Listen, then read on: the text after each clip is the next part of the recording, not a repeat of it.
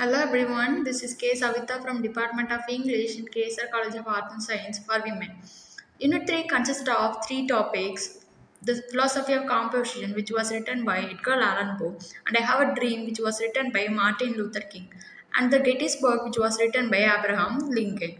Edgar Allan Poe was an American writer, poet, author, and literary critic who is best known for his poetry and short stories. He was born on January 19, 1809 in Boston. He was a father of short story in English literature and he, is, he was most well known for his dark and gothic style of writing.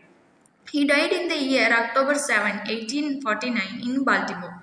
The philosophy of composition presents Poe's view on how to compose a poem, a short story, and another literary work. He advises uh, writers to do the following. He uh, first we have to plan a project to its conclusion before beginning to write.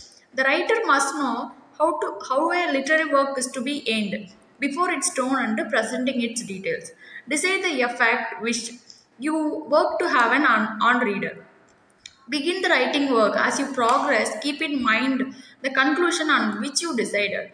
Keep the literary work short enough for the reader to complete in one sitting. If the work, if the length of the work requires the reader to put it down and come back to read another day, the affairs of everyday life divert the reader's attention and diminish the effect of literary work after he resumes to reading it. Work hard to perfect the writing.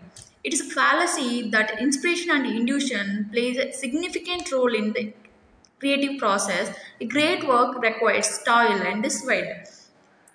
The next work is I Have a Dream, Martin Luther King, an American Baptist minister, activist, and humanitarian, leader of the American African civil rights movement.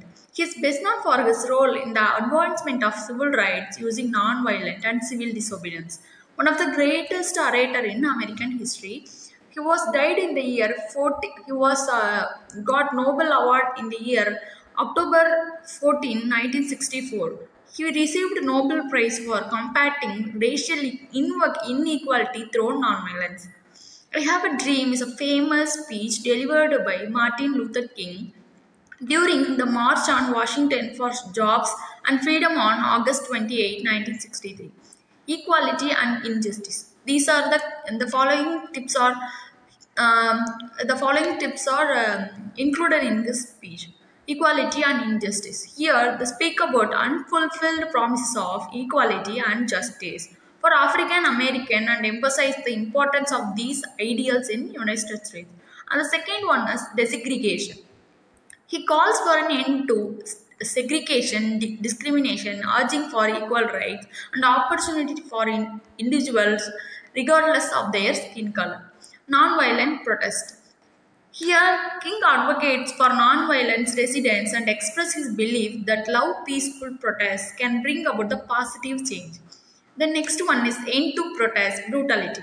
He highlights the need to address the brutality and the violence inflicted in African Americans in their quest for freedom and equal rights. The next one is dream of brotherhood. Here, King shares his vision of future where people different races, backgrounds can coexist harmoniously, united by love, equality and mutual respect. These main points reflects King's passionate advocates for civil rights, racial inequality and social injustice in the United States. The next one is Gettysburg Address, which was written by Abraham Lincoln. Abraham Lincoln, widely regarded as one of the greatest presidents in American history.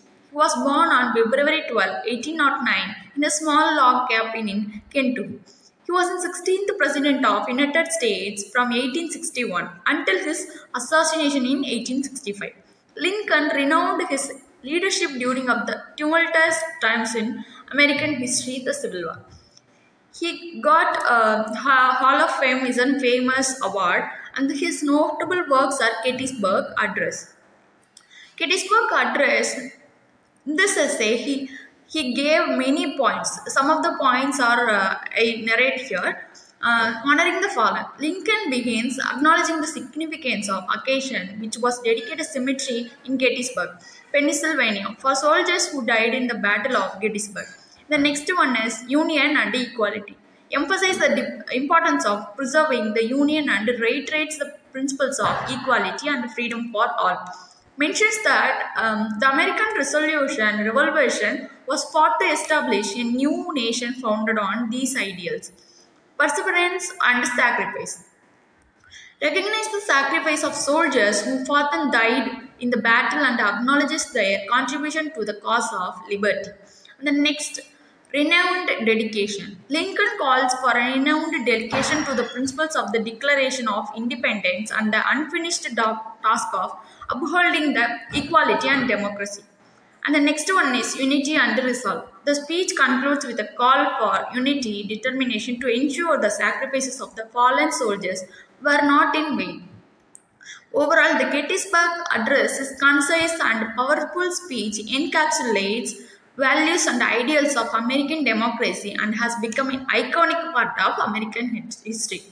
Thank you for watching.